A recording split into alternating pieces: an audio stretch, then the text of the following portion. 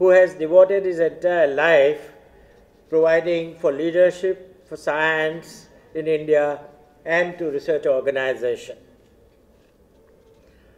Albert Györgyi has said, research is to see what everybody else has seen and to think what nobody else has thought. Padma Vibhushan Dr. Ramesh Mashelkar epitomized this thinking.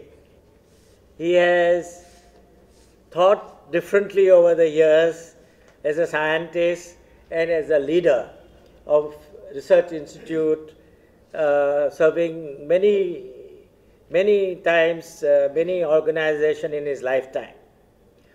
He has received over the years six doctorates from different universities like University of London, University of Wisconsin, University of Delhi, and many others.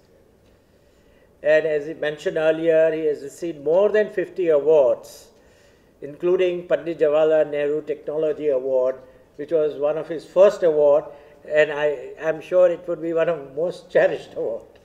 In recent years, before he retired as Director General of CSIR, he has enunciated CSIR 2001 vision and strategy.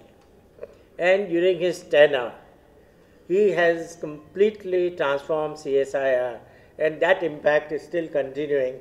And I am sure that his vision that science will significantly contribute to India's being a developed country in the next several decades. We are indeed very proud and privileged to honor Dr. Ramesh Mashelkar with the V. Krishnamurthy Award for Excellence. And in conclusion, I just want to quote what Branch Rickey said. It is not the honor that you take with you, but the heritage you leave behind.